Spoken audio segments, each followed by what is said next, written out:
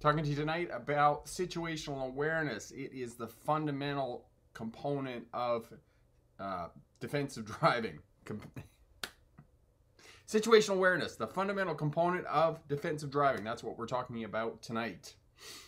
Hello, everyone. Uh, here at Smart Drive Test, uh, helping you pass the driver's test and become a safer, smarter driver. There's a few people here already. Mallory is here from the East Coast where they are digging out from a snowstorm. They got one and a half meters of snow, uh, which is about five feet in places. now that's a snowstorm. Marion is here tuning in from Vancouver, British Columbia, uh, where she says it's sunny. I'm not sure whether it's sunny anyway, but anyway, uh, it's David's birthday today. Happy birthday, David. How are you? And welcome, welcome to the channel. If you're just tuning in, let us know which where you're tuning from in from in the world. Uh, let us know what class of license you're going for and what skills you're working on. We can help you out with all of that. Emily is here from Toronto. Hello, Emily. Uh, not too much snow there. Uh, my son just came back from Ontario and visiting his nan, uh, my my mom, and had a great time there. So we're talking about situational awareness tonight. Where am I? What driving environment am, am I in? And the driving environment that you're in determines what kind of road users you're going to be dealing with. If you're on a two lane country road in southwestern Ontario, you're going to be in, sorry, in the summertime, so time, season has an effect on this as well. You're going to be dealing with farm equipment. If you're in a school area during school being in session, September to June, for those of us in the Northern Hemisphere, it's different in the Southern Hemisphere, you're going to be dealing with students, okay? Uh, yeah, tuning in from Jamaica. Hello, my friend, and it's very warm, nice evening. That is awesome. Marizone tuning in from Toronto. Uh, like no more winter here. okay. All right. Thorold preparing for G license. That is awesome. And Schroff tuning in from Saskatoon, going for his Class 5 license. Ant is here, tuning in from the UK. So we have quite a few people here. And Corey is here. Corey is the moderator, does an excellent job of getting up the videos I suggest you have a look at for more details uh, to the answers I provide to your questions. That's what we're all about here. Live presentation, giving you answers to your questions. And as I said previously, helping you to pass your driver's test and becoming a safer, smarter driver. Uh, and my friend Rob is here, so you think you can drive from Sudbury, Ontario. Do you have snow there in Sudbury, Rob? Because usually you get snow in Sudbury and not in other places. Thank you for the hearts. Awesome. So let's, uh, without further ado, get over to the presentation. The presentation is about 10, 12 minutes. Uh, and then we come back, we spend the rest of the hour talking about everything to do with driving and answering your questions. And as well, uh, I have a couple of shorts that I put up this week. I also want to talk about those uh, and give some further explanation because, wow, they are controversial. I love controversial stuff and people uh, telling me how you do it uh, in no uncertain terms. So uh, we've got that as well. So let's get over there. Tonight we're talking about situational awareness. Where am I? What's going on? What road users are on the roadway. And the reason that I use road users and not vehicles is due to the fact that you are sharing space on roadways with pedestrians, cyclists, people on scooters, skaters, uh, those types of things, uh, motorcycle riders. These are all road users. They are not drivers. They are not riders, okay?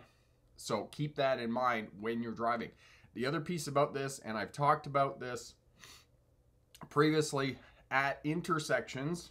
More than 40% of crashes, ha crashes happen at intersections. 42% is the number specifically. As well, at intersections, you are most likely to encounter vulnerable road users. Vulnerable road users encounter are those road users, pedestrians, people using mobility devices, uh, kids on e-scooters, e-bikes, cyclists, motorcycle riders, those types of things. Those people who are most likely either going to be seriously injured or killed in a crash are vulnerable road users. These are the people that you're going to encounter at intersections. So have situational awareness, discover and figure out where intersections are and how to locate intersections and other vehicles coming out at the intersection. For those of you new to Smart Drive Test, my name is Rick August. I was a truck driver in the 1990s, hauling freight between Ontario, Canada, and the lower 48. Uh, that's a specific kind of North American term, lower 48. That means the states below the 47th, 49th, 49th parallel here in Canada. Uh, while I was going to university in Australia, uh, 2000 to 2006, I drove buses for Greyhound and one of the regional bus lines there became a licensed commercial driving instructor in 1997, uh, graduated in 2006 with my doctorate in legal history, uh, which seems like yesterday, but it was quite a number of years ago. uh, my doctorate is in legal history, which is the study of policing, courts, and prisons, and my expertise is in policing as it relates to traffic. And one piece of wisdom that I can impart to you about uh, traffic laws traffic laws no more prevent crime or traffic laws no more prevent traffic crashes than criminal law prevents crime.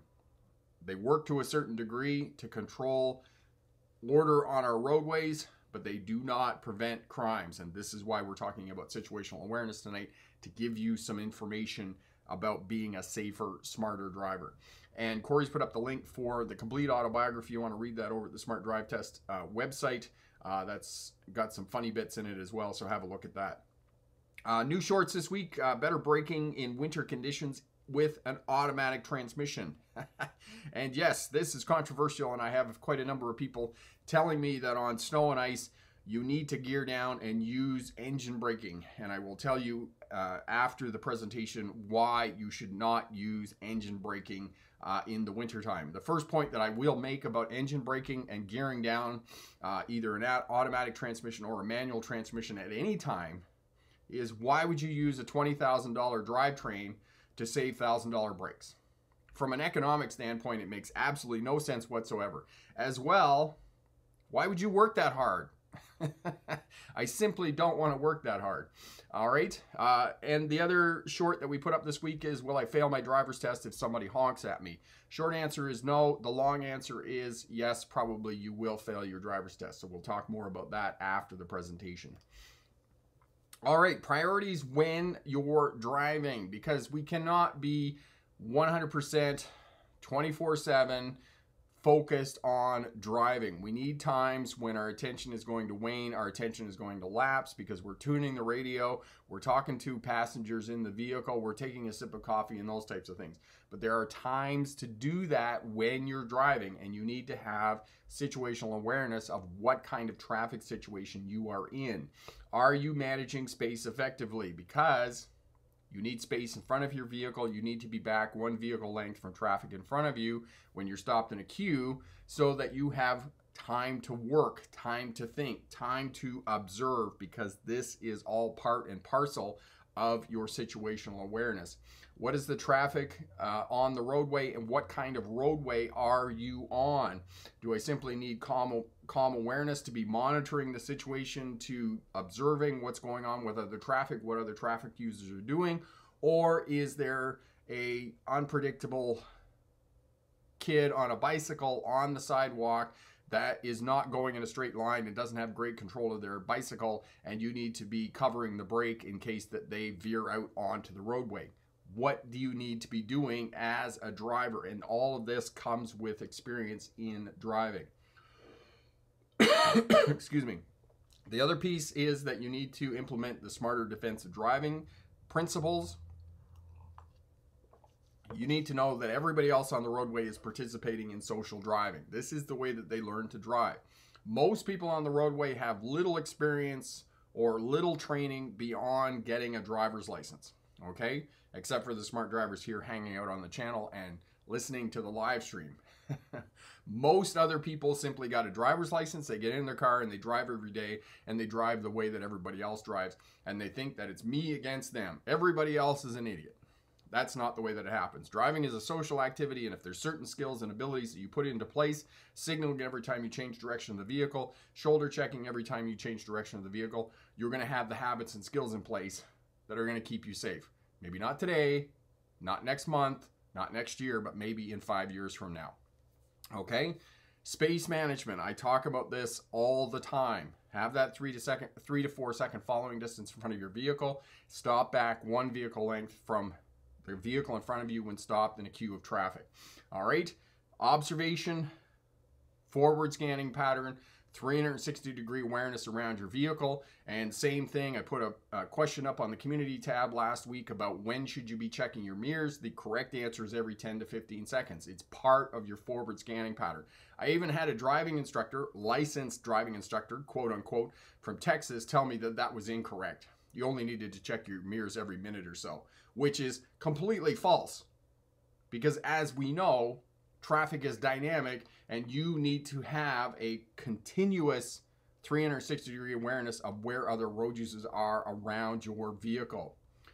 So, observation, lane changing, turning, shoulder checking, reversing, and speed management. You need to understand the different speeds of different road user groups.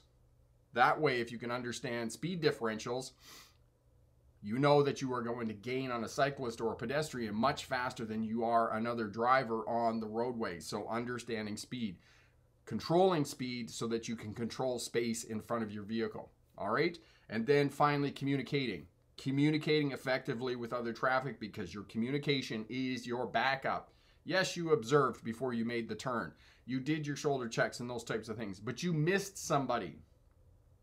You missed the pedestrian that stepped off the curb next to your car because they're going to walk around behind you because you stopped in the wrong position accidentally.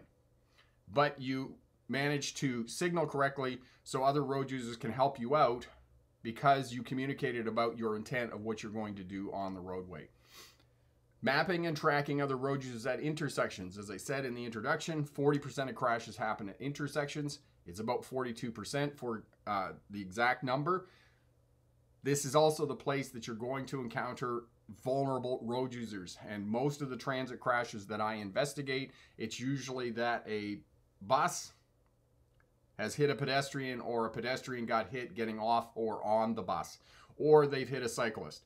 And this happens at intersections because this is the place where you're mo- most likely to encounter vulnerable road users. At intersections, you need to map and track road users and you need to track them because are they going to cross your path of travel where you want to go? Because we're sharing road space with other road users. And it's not about right of way.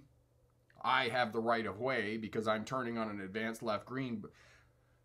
But the pedestrian insists that they're going to walk in the crosswalk. You have to give way to prevent a crash. Because think about how badly you would feel if you hit a pedestrian. Okay? So it's simply a matter of waiting a moment, waiting five seconds for the person to clear the path of travel where you're going to go, and then proceeding on your way. Okay? Are we alert to change? Because that is what traffic is about. It is about change all the time. And crashes happen because other drivers do something unpredictable. That's when we're going to get into trouble. Where am I? Am I sitting in traffic? Am I driving on a highway? Am I trying to pass another vehicle? There are times when you're very close to other vehicles, you're passing on a highway that you're going to be on high alert. There's other times you just need common awareness of what you're doing. You're bombing down the interstate, you're on cruise control, you have some great music on the radio, you know, some CCR, and you're just like chilling out. But you've managed space well in front of you, you're not tailgating other vehicles, you're not weaving in and out of traffic, and you are ha- uh, maintaining a 360 degree awareness around your vehicle. Okay.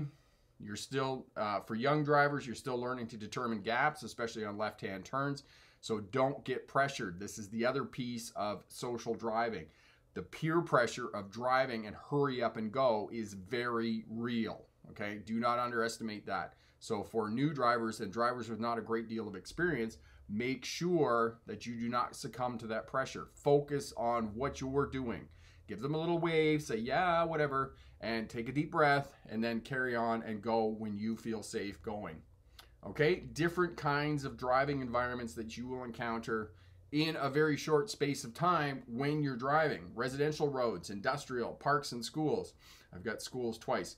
Uh, multi lane cities, uh, two lane cities, or multi lane roads in a city two lane roads in a city, freeways and interstates, rural country roads, towns and villages. All of these are going to have different road users and they're going to have different requirements put on you as a driver. Now, I'm going to tell you that freeways, yes, they're high speed Uh, new drivers are terrified of merging onto freeways, but these are very safe.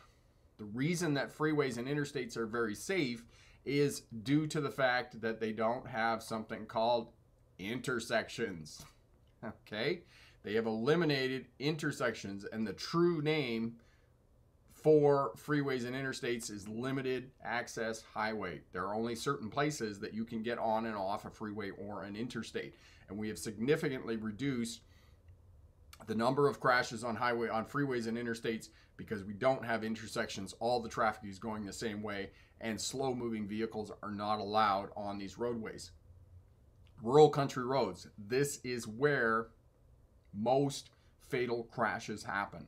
There's a lot of reasons why fatal crashes happen on two lane country roads.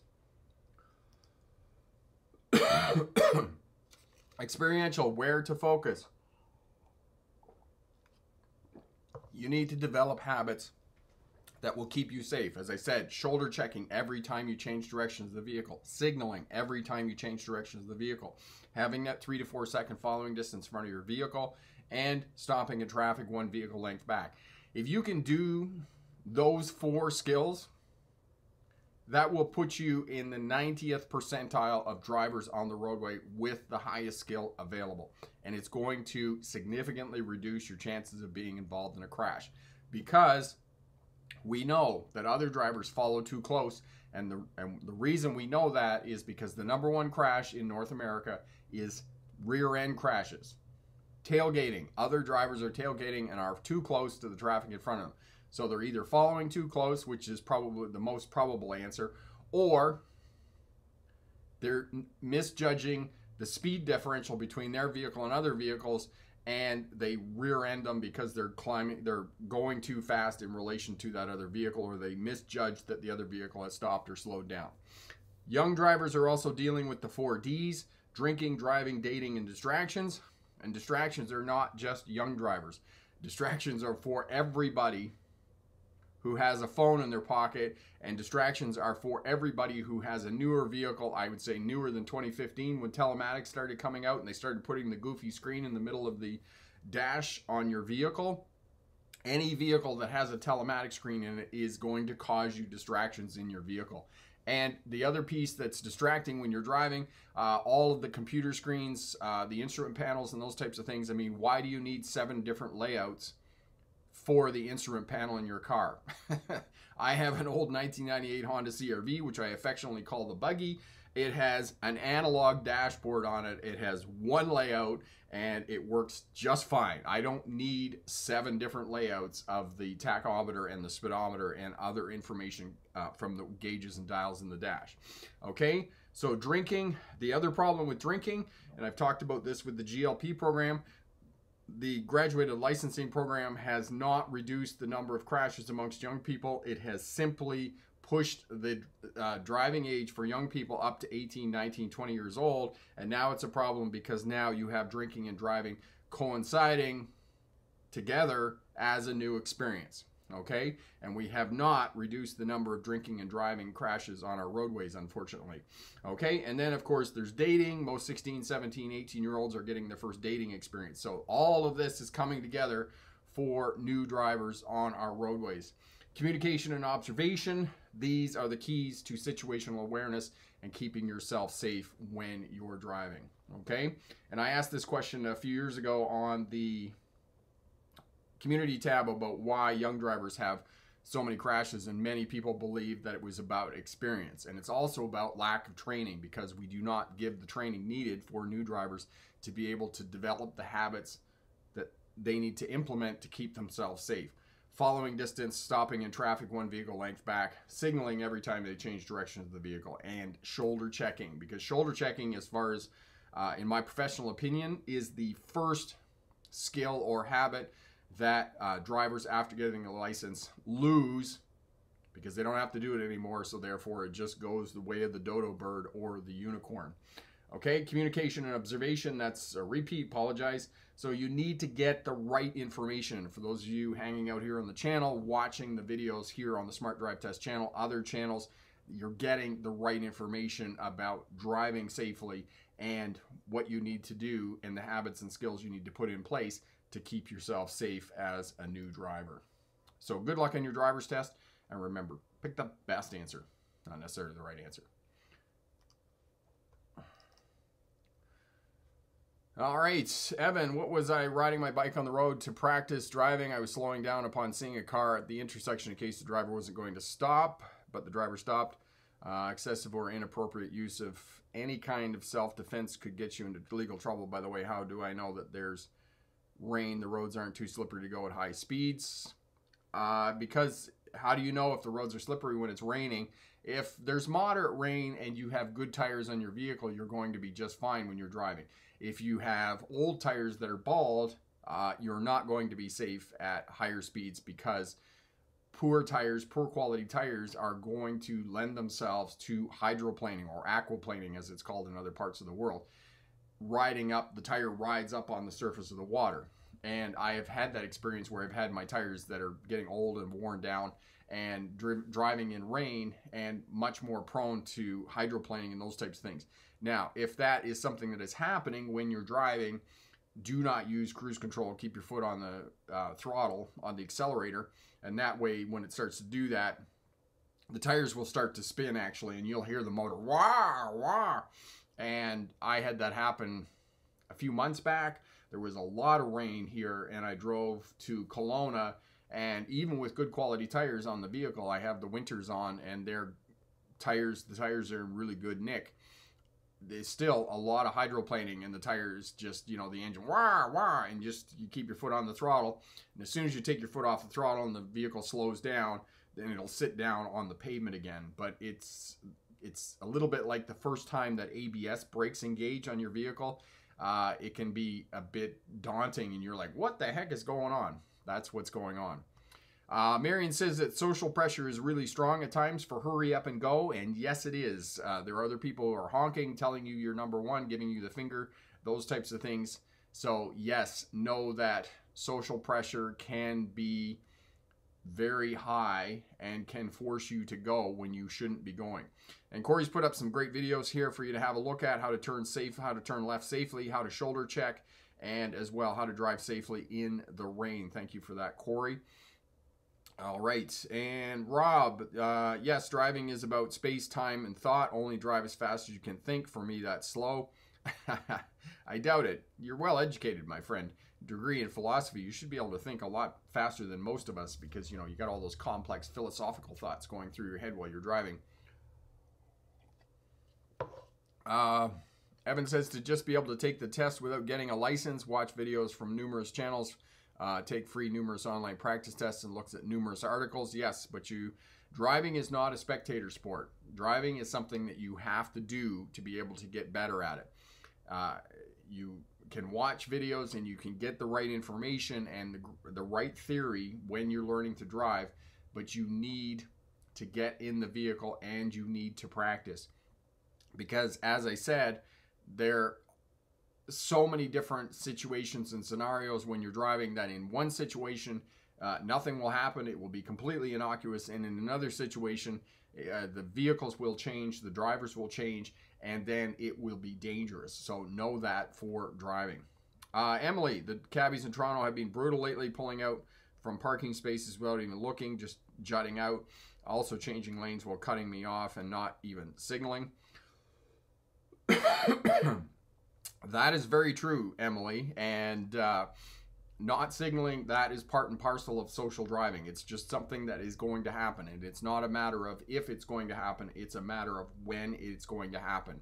So know that when you're driving and look out for the taxis. I mean, they're bright colors for the most part. We can pick them out. And usually they have that roof ornament as well that will indicate that it's a taxi. So just give them lots of space, right? Uh, and uh, know that they're not going to signal and they're just going to pull out in front of you. So look for those, identify those, and this is the other piece about it is that if you know that one road user group, i.e., taxis in Toronto, are going to do unpredictable things, then those are the road users that you're on the lookout for when you're in Toronto. The other road user group in Toronto or large metropolitan cities, whether you're in Chicago or Atlanta, Georgia, uh, Los Angeles is cyclists, right? They're going to do unpredictable things because, for the most part, cyclists do not follow the rules of the road. They don't stop at stop signs. Uh, they cut in and out of traffic and those types of things. So know that and identify those road user groups. Keep yourself that space in front of you. That way you have uh, space to work, space to observe, figure out what they're doing. And then, you know, if you're coming up on a taxi, you know that the taxi's running. You can see the driver in the driver's seat. Uh, you've got your foot covering the brake, and you're prepared for them to just dart out in front of you, right? You're prepared for them to make lane changes when you're out on the highway, the freeway, or whatnot, uh, without signaling and those types of things. Because the other piece about it and this is an advanced uh, driver technique, is we know that other traffic, other road users, drivers, I'm looking for that word, we're look other drivers are going to make lane changes. When they make lane changes, they're going to start moving over just ever so slightly just before they make the lane change. So whether they signal or not, we still know because the number one way that road users communicate is position of the vehicle on the roadway or in relation to the roadway or their relative speed changes. For example, we're coming up to an intersection. We're within a half a block of the intersection. The car in front of us starts to slow down. If the car in front of us slows down and the traffic light is green, there's a high percentage, there's a high probability rather, there's a high probability that that driver is going to turn right. We know that because in relation to the intersection, that driver has slowed down.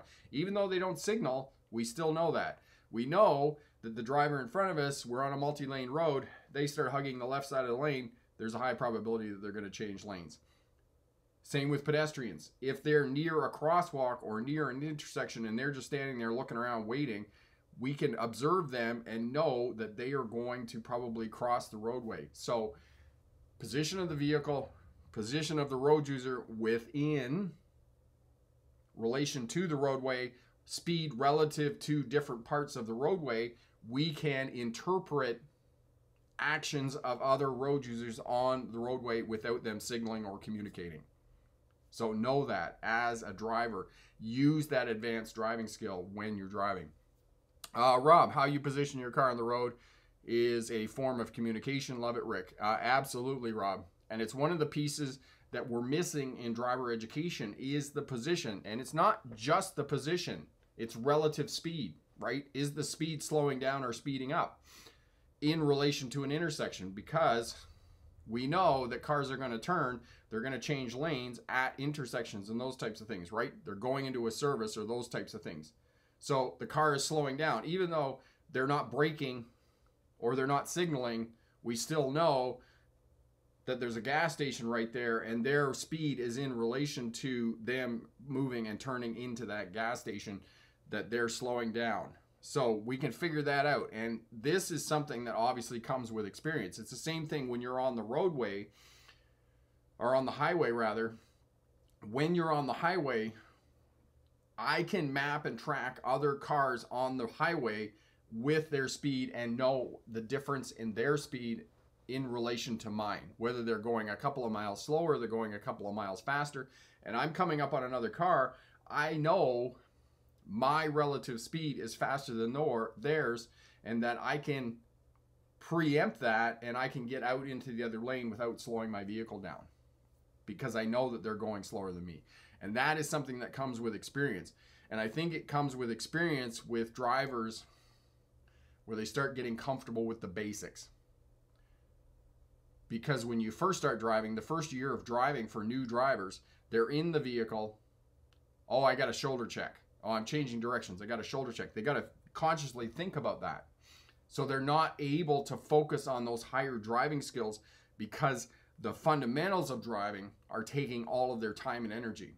And it's only after a year, maybe two years of driving, and they get those fundamentals into place, then they can start focusing on those higher advanced skills of figuring out how other traffic is communicating to them by the position of their vehicle on the roadway, by the relative speed of their vehicle in relation to other things on the roadway. All of that plays a, a role uh, with our experience as drivers as we become safer, smarter drivers. Rawson, I am doing awesome. How are you doing, my friend? Uh, Mallory, really appreciate and love your shoulder check saying. Awesome. Yes, shoulder checking. Shoulder checking is to driving. Not shoulder checking is to driving. What not checking to see if a weapon is loaded is to gun safety. Okay? You would never pick up a weapon and not see if it's loaded before handling it. It's the same thing as a, as a driving a car. Why on any planet would you drive a 2,500 pound vehicle at speed, change directions, and not see if there is a road user in your blind area? You just, you wouldn't do that. Okay? So, shoulder check, shoulder check, shoulder check. Marizone, I often ignore when someone pressures to go fast, and that is awesome. That's exactly what you need to do, Marizone, to keep yourself safe. Uh, Marion, why is the novice license for two years, whereas the learning license is only a year? Uh, Marion, the reason the novice is for two years is owing to the fact that you can drive by yourself, whereas in the learner's phase, you can't drive by yourself. You have to have a mentor, your parents, your friends, somebody who has a license, or be in the vehicle with a driving instructor. So it's only a year. Now, we know that the learner's phase, even though students go and get their license and get their learners, they don't drive for the year. They simply let the clock tick over and six to eight weeks before they are eligible to go in and take their driver's test, then they get in the vehicle and they start to practice. It's just too onerous for parents, uh, for driving instructors, for the for the students, for the young people who are going to get a license. It's not all young people, but new drivers who have a learner's license. It's just too onerous, right? It's too much work. It's it's hard work learning how to drive. And it's hard work for everybody.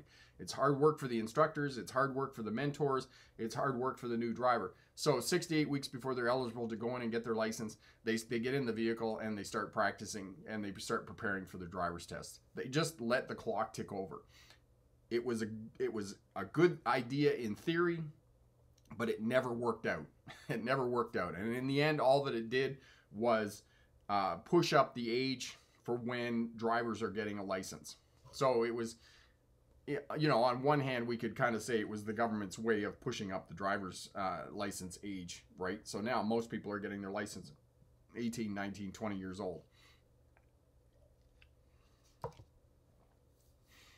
Uh, Rob says judging speeds and distances come with uh, stronger neural connections as they develop those pathways. Yes, indeed. Awesome. And Emily, I literally can't even move the vehicle without shoulder checking. And that is really good to hear. It becomes such a habit. Yes, it does. And that's what you want to do. You want to build these habits so that you don't have to think about it because defensive driving, situational awareness is not just for other people making mistakes. And I take it it bothers me a little bit when I have drivers come on the channel and they say, "Oh, I took driver's education and what I learned from it was is that everybody else is an idiot. Everybody else is the person I'm going to hit. Drive as if everybody else is going to run into you." No. No. because we make mistakes too when we're driving. We forget to signal, we forget to shoulder check, we forget to look, we get tired, we get distracted. So defensive driving driving smarter and safer is not just about putting in skills and habits that will keep you safe when other people make mistakes or other people do something arrogant or other people insist that they have the right of way. Defensive driving is also in place to keep you safe when you make mistakes. Because we all make mistakes when we're driving. We're human beings. It's the same thing. We put a coffee table in our living room, we're going to bang our knees on it, we're going to stub our toe on it because we're in motion. It is a biological fact that as soon as you put human beings in, in motion, they're going to run into something. They're going to bang into something. Whether they do it on purpose, by accident, or somebody pushes them, it is going to happen. And it's even worse when you put us into cars. It's even worse when you put us in cars. And you just look at traffic crashes and traffic deaths over the 20th century. More people died in traffic crashes in the 20th century than soldiers sent to every war in that century. Yes, every war in that century. More people die on American roads every year than all of the soldiers killed in the Vietnam War. Just let that sink in for a minute. More soldiers or more people die, more drivers and road users die in car crashes every year in the United States of America than all the soldiers sent to war in the Vietnam War, which lasted from 1963 to 1975, a dozen years. Traffic crashes are serious. It's a big deal. But nobody seems to take notice of it because we get in our vehicle, it's nice and safe. We it's it's our second most prominent personal space in our world next to our house, right? And traffic crashes don't happen very often. We know that most drivers will crash once every 15 to 20 years. So, in their lifetime of driving, we know that drivers will have three or four crashes. Most of the time, the system of driving, the social activity of driving, the other people who are involved in driving will compensate for your errors and mistakes on the roadway.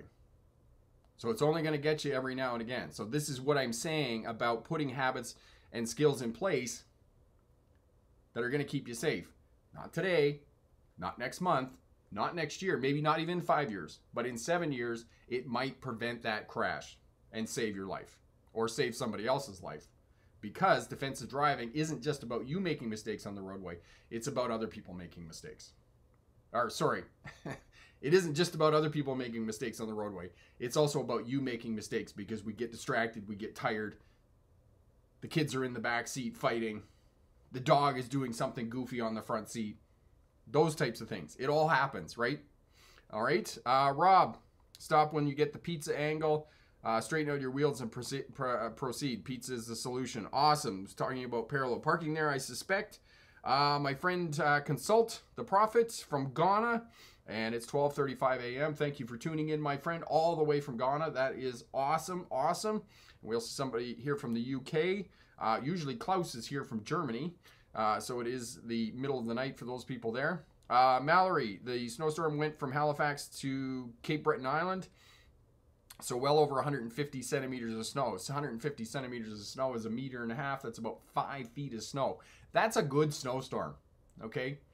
And I have not seen one like that in a very long time. and I had a friend of mine on Facebook, and she obviously was in Nova Scotia and uh, she sent a picture and the car was buried in the driveway. And i can remember snowstorms like that when i was a kid where you'd get up in the morning and you couldn't find the car because it was buried in snow. That that is good. That's a good snowstorm indeed. Uh Schroff, how do you get the 45? Uh, the pizza angle, as Rob was saying, as well. Generally, the 45 degree angle uh, on most cars is going to be right in the crook of the uh, wing mirror, the side mirror on the driver's side there. So it's between the pillar, the piece of metal that holds the front windshield in. There's the pillar, and there's the wing mirror here. And it's usually right between there is where your 45 is going to be. Now, it's going to be a little bit of practice. Corey will put up the playlist on parallel parking for you.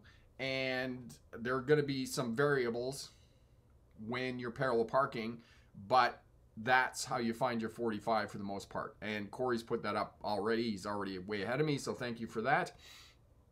All right, uh, Ross, and I'm doing good, and I have a great habit always checking my blind spots every time I'm turning and changing lanes.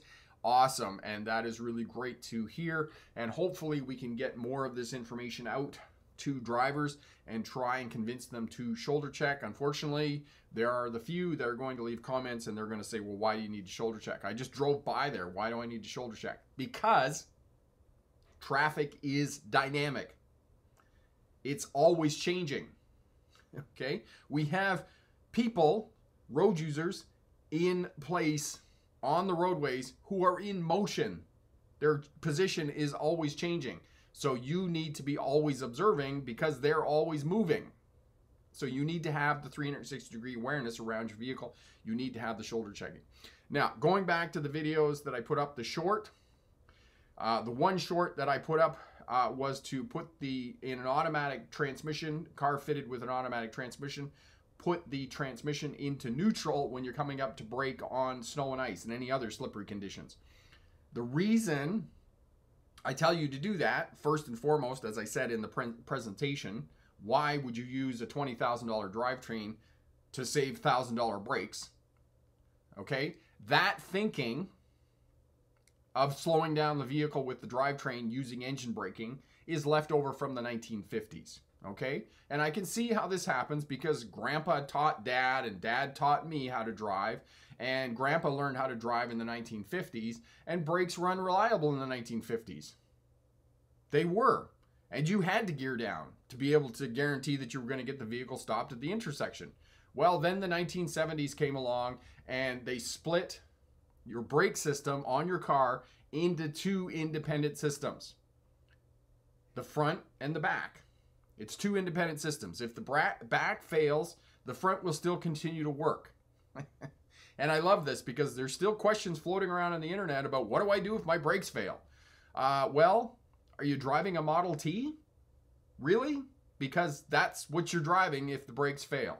Okay, anything built after 1972 is going to have these two independent systems on the braking system. So if one fails, the other one will still continue to work. Yes, it's going to not be as uh, vigorous braking, but you're still going to get the vehicle stopped. Not to mention, your parking brake also acts as an emergency brake. Now, this is something that I need to do a test on uh, with the new electric activated parking brakes to see whether they will actually stop your vehicle and still act as an emergency brake as they once would. But the reality is, is that uh, brakes uh, are unlikely to fail unless they are in terrible, horrible uh, maintenance condition. Then they're going to work. All right. So that's the first piece. Why would you use a $20,000 drivetrain to save $1,000 brakes? The second piece is if you're just using the brakes to slow down the vehicle and the back end of the car kicks out because it loses traction on slippery conditions and a locked or spinning wheel always leads. So in other words, if you kick down on the throttle and you spin the back tires, say we got a rear wheel drive just for sake of uh, example, the back tires are spinning, the back end will kick out and it will start to go sideways you'll get that yaw. Uh, same thing with front wheel drive. If you have a front wheel drive and you spin the tires, the front end will go sideways. Spinning or lock tire always leads. So you come up to the intersection, you gear down, wah, you get your engine braking. The back end locks up on slippery conditions because you have almost zero traction, and now the back end kicks out. If you're using engine braking, you have no backup. You're stuck. You're going where the car decides to go. Whereas, if you come up and you're on snow and ice and you pop the transmission into neutral and you're just using the brakes, and then the back end kicks out or the front end goes sideways, you can take your foot off the brake, allow the wheels to spin again, and the vehicle will straighten out. And when you get up to the corner, you just pop it back into drive, and away you go. The, the last piece of this now, and I know that this won't work on push button automatic transmissions, okay? This only works if you have a column shift, okay? So the last piece about this is most people have no idea how the um, the shifter works in an automatic transmission. If you pull it out of park, you got you push the button, the lock button, you push the lock button, you pull it just a little bit so it pops out of park, let go of this, the lock button, you slide it back, it will stop in park. Okay? And then you can push it forward, it'll go into neutral, you push it back and it just goes into park. That's all it will do. If you take a minute with your automatic transmission and figure out these things, you can look way cooler when you're driving because you're doing what the machine is designed to do. Not working against the machine or trying to figure out how to make it do something you want it to do. And the number of people I see get in an automatic transmission and they push the button and then they look at this the shifter and they go uh, reverse, neutral, uh, drive. Yeah, we're drive. And then they let go of the button. Just it does a certain thing. It's designed to go from park to drive. Just click the lock button, pull it a little bit, let go of the and pull it all the way down. You'll just you'll look way cooler to your friends when they get in the car and you're driving, okay? So, know that. There you go. There's the one thing. Uh work 280 uh, in Saskatchewan we had rain and oh my god, the ice is so bad. Yes. All right, uh, Rob, why do examiners still require turning wheels for parking on a hill if brakes aren't likely to fail these days? Okay. So, two different things there, Rob. Excellent question. The reason they uh, require you for turning wheels is because we're talking about parking brakes. So, three reasons we engage the brakes on a vehicle service brakes. So, basically, the foot pedal, we're going down the road, we push on the brake pedal, blah, blah, blah. Okay. Parking brakes. So, the parking brake is either mechanical force, which is coming out of you, you're pulling a lever or you're pushing down on a pedal uh, in the footwell on the driver's side. And then emergency brakes, right? If the brakes fail and we don't have any brakes, we can use the parking brakes as an emergency brake to bring the vehicle to a stop. The parking brakes are different than the service brakes because the parking brakes are a different power source. Okay? The foot pedal is hydraulic and there's a power booster on that in the pump underneath the hood. Okay? The parking brakes, on the other hand, are used mechanical or it's an electric motor that actuates the parking brakes, and those potentially could fail. Okay, the cable could break, they could be weak, out of adjustment, those types of things. So they get you to turn the wheels as a backup. Okay, and that's what we always want. We always want a backup, right? We always want somewhere else we can go. It's the same thing with observation and communication. If we miss something when we're observing, we get the backup that we signal. It's the same thing with the parking on a hill. We use the wheels against the curb or pointed into the shoulder so that we have a backup if in the unlikely event that the parking brake fails. Okay? Because we know uh, with people with automatics, most drivers who are driving automatic transmissions, they rarely use the parking brake. So it almost never gets used, right? Because uh, unfortunately, they mislabeled the park in automatic transmissions. They should have just called it stop uh, what they should have done because most people think, oh, it's park. I just put it in park and the vehicle is secure. The vehicle's not secure because the transmission is not designed to hold that vehicle. Okay, we have a backup. We use the parking brake, so we have the parking brake and we have the transmission as a backup. So that's why they get you to do that. Uh, Marizone, why is the reason crash happens more in two lane highways? Uh, Marizone, the reason that more crashes happen on two lane highways is owing to the space, the shared space, uh, animals on the roadway, slow moving vehicles, horses, those types of things, all the obstructions that are on two lane highways. They're curvy, uh, people are not paying attention. Oftentimes, crashes happen at night. Many, many, many more crashes. I think it's three times the number of crashes happen at night on country rural roads. And the reason that most crashes on uh, rural roads are fatal, usually it's alcohol related. They're inebriated in some way, uh, either drugs or alcohol. They're tired, okay? They're driving at high speeds, often too fast for the roadway and the conditions of the roadway. And if they do get into a crash, uh, it's hard for somebody to find them. Even in this day and age of cell phones and whatnot, uh, they're usually laying there with the crash, and it's usually 20 minutes, half an hour, an hour before somebody comes along and finds them. And many of these rural crashes are also single vehicle crashes. There's nobody else around. It's just one vehicle in a, uh, one person in a car. I think the number, and I would need to look it up and confirm that for you. I think it's almost 60% of these fatal crashes on uh, rural two lane highways are single vehicle crashes. So there's only one person in the vehicle. So, uh, you know, they're laying there unconscious and they can't call anybody. And then it's a matter of finding you, getting emergency crews to you, and then getting you to the hospital. And we also know because of the Vietnam War uh, that we have the golden hour, right? The trauma hour. We know that people who sustain serious trauma, serious injuries, we need to get them into surgery within 60 minutes for the likelihood, the significant likelihood of them surviving that crash going up. So those are all the pieces of why crashes are more fatal on two-lane country roads. All right, uh, Rob. Okay, I should have taken some mechanical training. Uh, makes sense. Thanks, Rick. Uh, no worries, Rob. I, I've been working on a case of air brakes, so I've been talking about this, thinking about this, writing about this for the last week or so. But that's all good.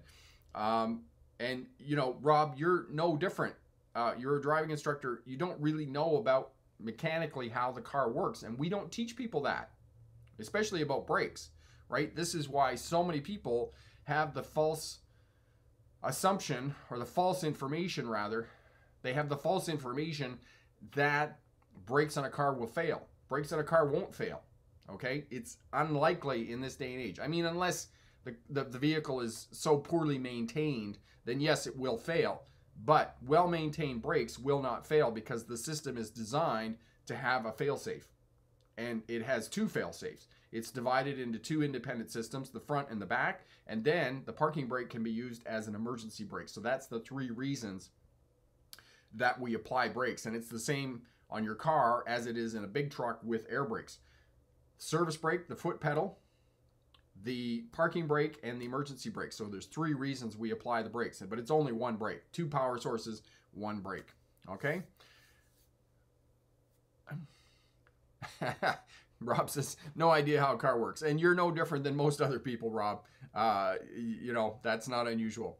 Uh, Eric, on a hill, you turn inward to the curb so that your car doesn't reverse or slide into the traffic, correct?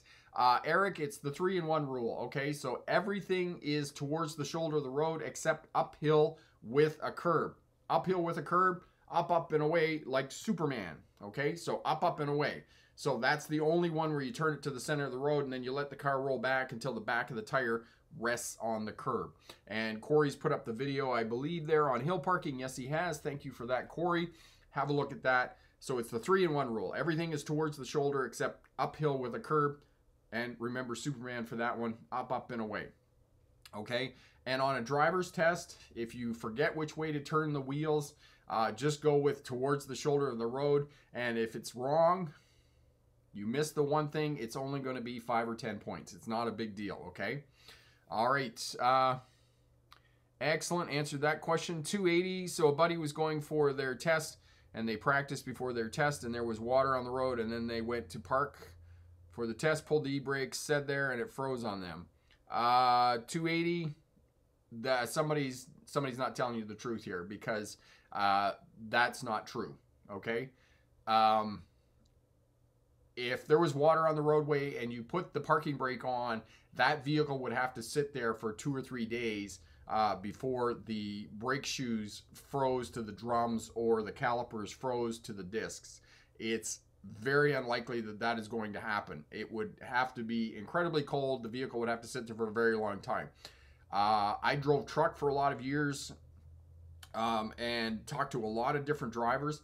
The only time that brake shoes will freeze to the drum because you have to realize that the brake shoe is a chemical composition of really nasty stuff and then the sh- the drum is steel so you're getting something that is worn like a ceramic uh, brake drum you're getting ceramic to freeze to metal and the only time that i have heard of that happening is in minus 40 degrees celsius minus 40 degree uh, 50 minus 50 40 degree Fahrenheit, minus 40 degrees Celsius. It's the same temperature for both of them.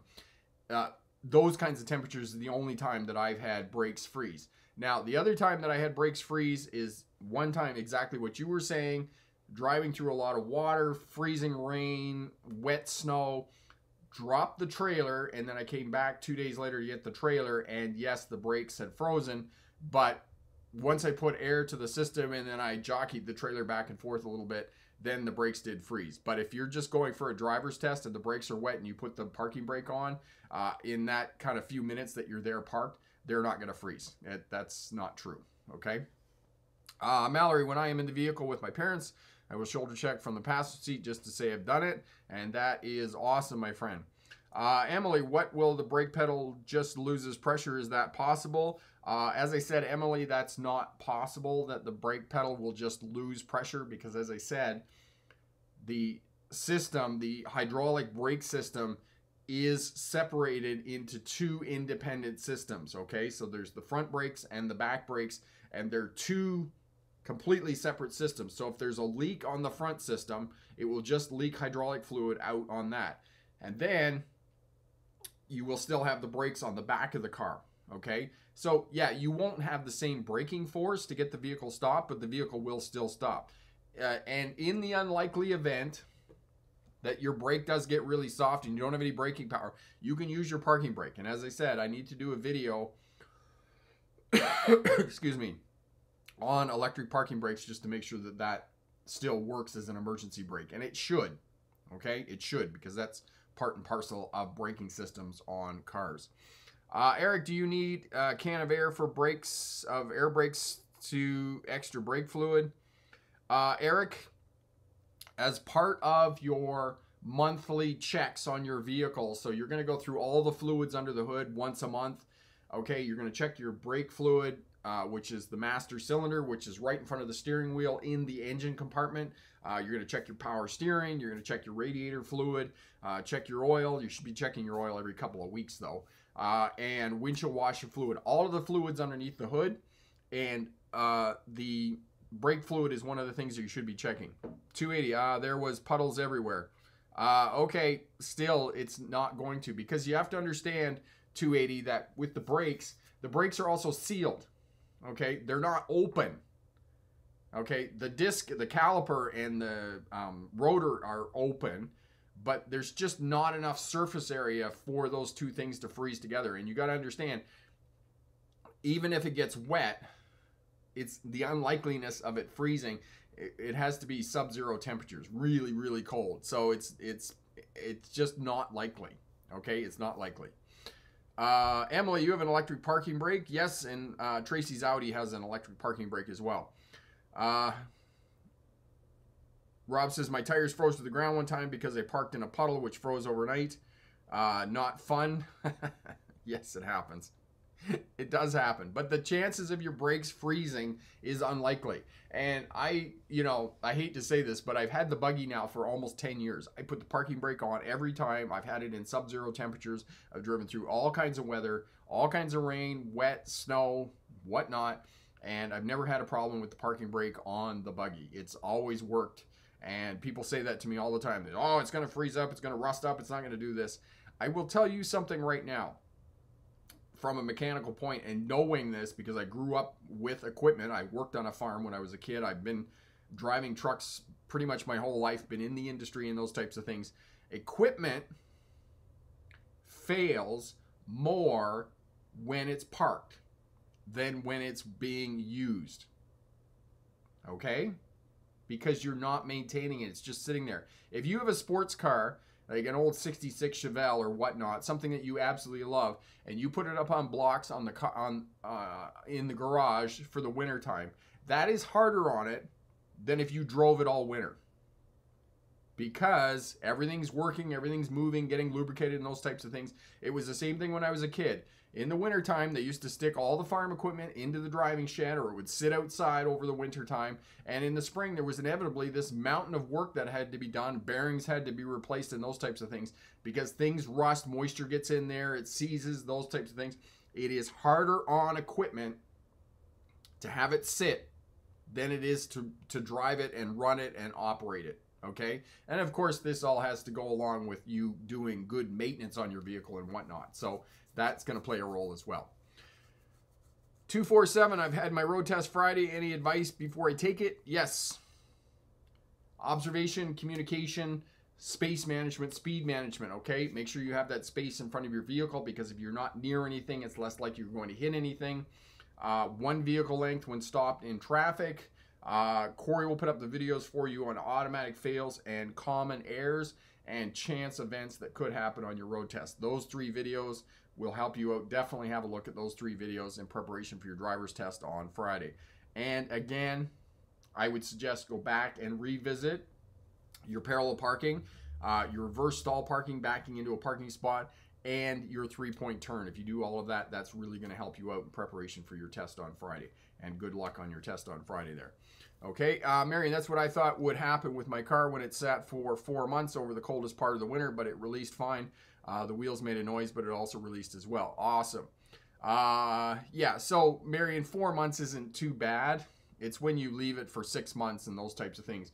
But, you know, now that you're driving it and whatnot, it's going to be just fine. Uh, Rob, my 2018 Nissan Versa sits in my driveway for at least six days a week without running. Uh, should I move it more?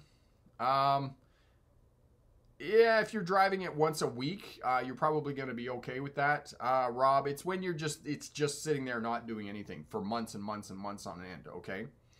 Uh, Marizone, how many kilometers are in the buggy? The buggy is approaching 400,000 kilometers. It's just over 395,000 kilometers right now. So yeah, we're just about at 400,000. I'll send I'll put a picture up on the community tab when it gets to 400,000. So that'll be really great. 280. I agree with you. Awesome. Okay. there we go. All right, we're going to leave it there for tonight. Uh, thank you so much for participating in the live stream. Thanks so much for your awesome questions.